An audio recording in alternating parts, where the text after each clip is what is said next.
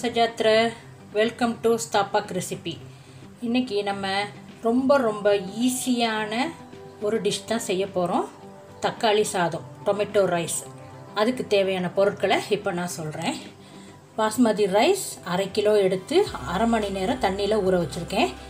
நானூறு கிராம் தக்காளி பழம் நல்ல பழமாக எடுத்துக்கோங்க. நானூறு கிராம் எடுத்து அரைச்சி வச்சுருக்கேன். இஞ்சி பூண்டு பேஸ்ட் ஒரு டேபிள் ஸ்பூன் ஒரு டேபிள் ஸ்பூன் நெய் மூணு டேபிள் ஸ்பூன் எண்ணெய் சமையல் எண்ணெய் உப்பு சிறிதளவு சோம்பு ஒரு டீஸ்பூன் கிராம்பு மூணு பிரிஞ்சி இலை ரெண்டு பட்டை ரெண்டு துண்டு லவங்கப்பூ ரெண்டு. மஞ்சள் தூள் அரை டீஸ்பூன் கரம் மசாலா தூள் அரை டீஸ்பூன் மிளகாய்த்தூள் அரை டீஸ்பூன். பெரிய வெங்காயம் ரெண்டு எடுத்து வெட்டி வச்சுருக்கேன். நாலு பச்சை மிளகா எடுத்து வச்சுருக்கேன். கீரி வச்சுருக்கேன். கருவேப்பிள்ளை ஒரு கொத்து எடுத்து வச்சுருக்கேன். இப்போது எப்படி செய்யலான்னு பார்க்கலாம் வாங்க. கடாயை அடுப்பில் வச்சு நெய் எண்ணெயை ஊற்றி சூடு பண்ணியிருக்கேங்க. அதில் இந்த தாளிக்கிற பொருட்கள் எல்லாம் நம்ம சேர்க்கணும்.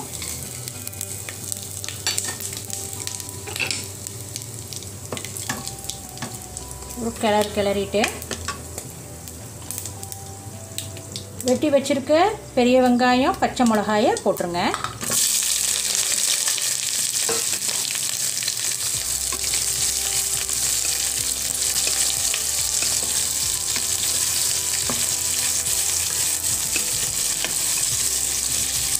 இது நல்லா வதங்கணுங்க. வெங்காயம் இஞ்சி பூண்டு நல்லா வதங்கிருச்சுங்க. இப்போது ஒன்றரை டேபிள் ஸ்பூன் உப்பு. இந்த மசாலா ஐட்டத்தை சேர்த்து லேசாக கிளறி விடுங்க.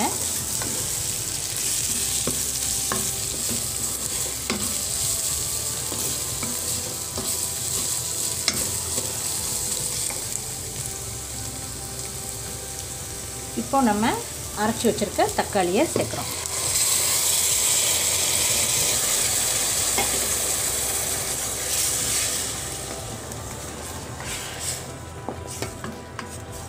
இந்த இந்த தக்காளியை ஒரு மூணு நிமிஷம் மூணுலேருந்து அஞ்சு நிமிஷம் லேசாக வேக விடுங்க.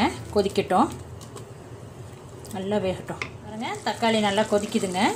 இப்போது நம்ம கழுவி ஊற வச்ச அரைக்கிற பாஸ்மதி ரைஸை சேர்க்க போகிறோம் தண்ணியை வடிச்சிட்டு சேர்த்துக்கோங்க.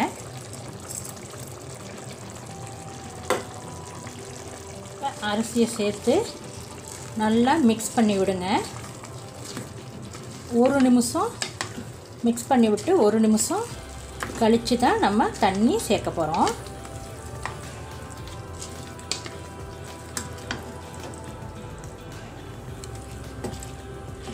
அப்படியே ஒரு நிமிஷம் விட்டுருங்க. இப்போது ஒரு நிமிஷம் நல்லா வதங்கிருச்சுங்க. இப்போது நம்ம தண்ணியை ஆட் பண்ண போகிறோம் தண்ணியை சுட வச்சு தான் ஊற்றணுங்க நான் வந்து அரை கிலோ அரிசிக்கு ரெண்டே கால் கப்பு தண்ணி வச்சுருக்கேங்க. ஏன்னா ரெண்டே கால் கப்பு த அரிசி இருந்தனால ரெண்டே கால் கப்பு தண்ணி வச்சுருக்கேன். இப்போ நான் தண்ணியை சேர்க்குறேன்.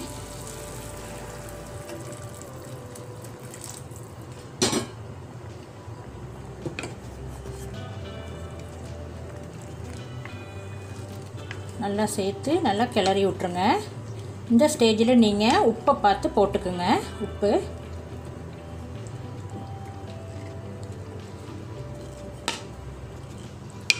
இப்போ இது கொதி வருது பாருங்கள் இந்த மாதிரி ஒரு மூடியை போட்டு ஒரு இருபது நிமிஷம் லோ ஃப்ளேமில் வச்சு ஒரு இருபது நிமிஷம் கழித்து ஆஃப் பண்ணி எடுத்து பாருங்கள் தக்காளி சோறு அடுப்பில் ரெடி ஆகிட்டு இருக்குங்க.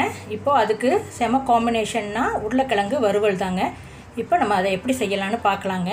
பெரிய சைஸ் உருளைக்கிழங்கு நாலு எடுத்து வெட்டி வச்சுருக்கேங்க. இந்த மாதிரி சைஸில் பாருங்கள் இந்த மாதிரி சைஸில் வெட்டி வச்சுருக்கிறேன். வெட்டினதுக்கப்புறம் நாலுலேருந்து அஞ்சு தடவை நல்லா தண்ணியில் பச்சை தண்ணியில் அலசிடுங்க அப்போ தான் வந்து கடாயில் ஒட்டாமல் வருங்க. உப்பு தேவையான அளவு. வறுக்கிறதுக்கு நாலுலேருந்து அஞ்சு டேபிள் ஸ்பூன் எண்ணெய். மிளகாய்த்தூள் ரெண்டு டேபிள் ஸ்பூன் மஞ்சள் தூள் ஒரு டீஸ்பூன். பெருங்காயத்தூள் அரை டீஸ்பூன். பூண்டு நாலு பல் இப்படி நசுக்கி தோலோடு நசுக்கி வச்சுருக்கேங்க. பெருஞ்சீரகம் ஒரு டேபிள் ஸ்பூன் நுணுக்கி வச்சுருக்கேன். கருவேப்பிலை ரெண்டு கொத்து எடுத்து வச்சுருக்கேங்க. இப்போ எப்படி வறுவல் செய்யலான்னு பார்க்கலாம் வாங்க. கடாயை அடுப்பில் வச்சு அஞ்சு டேபிள் ஸ்பூன் எண்ணெய் ஊற்றி எண்ணெய் சூடாயிடுச்சுங்க இப்போது நம்ம இடித்து வச்சுருக்க பூண்டு நுணுக்கி வச்சுருக்க பெருஞ்சீரகத்தை நம்ம இதோட சேர்த்துறோம்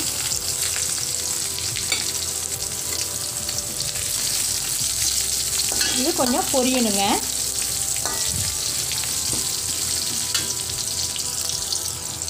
சோம்பும் பூண்டும் நல்லா பொரிஞ்சிருச்சு. இப்போ நம்ம வெட்டி வச்சுருக்க உருளைக்கிழங்க தண்ணியை வடிச்சிட்டு சேர்த்துடணுங்க.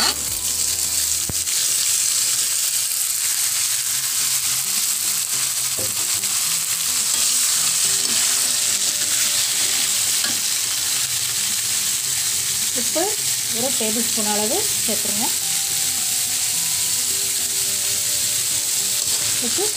இந்த தண்ணி சுன்ற அளவுக்கு கொஞ்சம் நேரம் வதக்கி விடுங்க.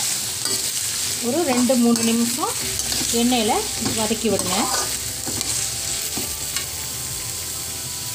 பாருங்கள் கிழங்கு நல்லா தண்ணி சுண்டி வதங்கிடுச்சுங்க இப்போது மிளகாத்தூள் மஞ்சத்தூள் பெருங்காயத்தூளை சேர்த்தணும்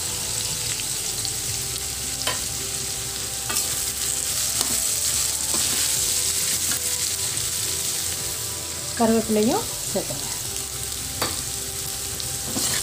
நல்லா கிளறி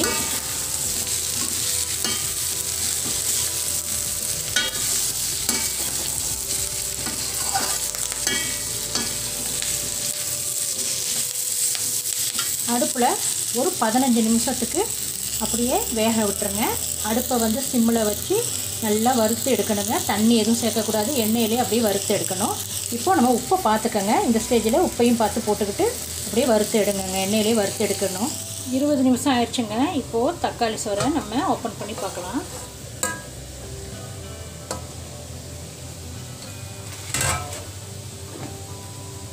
பாருங்க ரெடி ஆயிடுச்சுங்க.